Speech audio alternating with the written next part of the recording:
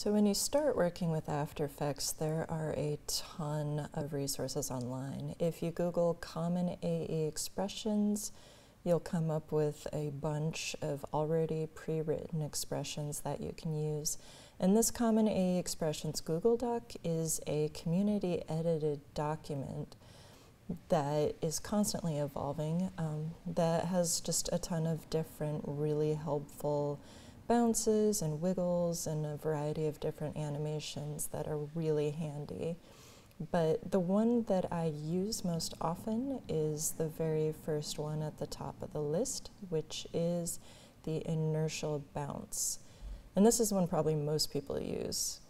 So you grab this entire script and copy it we're going to come over to After Effects where I have this shape layer with a really simple linear scale animation on it where it starts at zero and then goes to 100. So really basic scale up.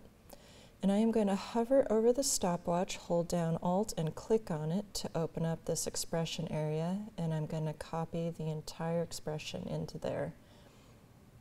And you can adjust the expression by moving the keyframes closer or farther apart. But you can also come into the expression and edit it if you scroll down to the amplification, frequency, and decay settings here.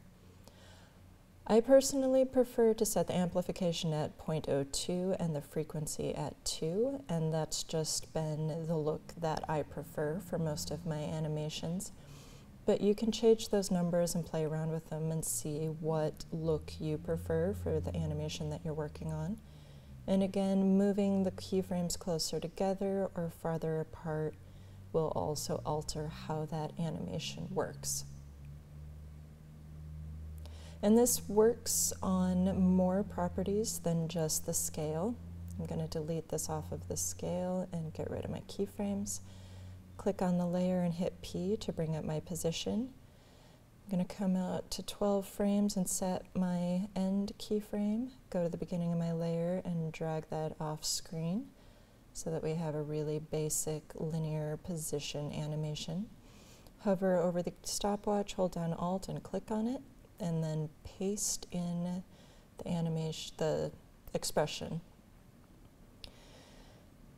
so that adds the bounce to the position.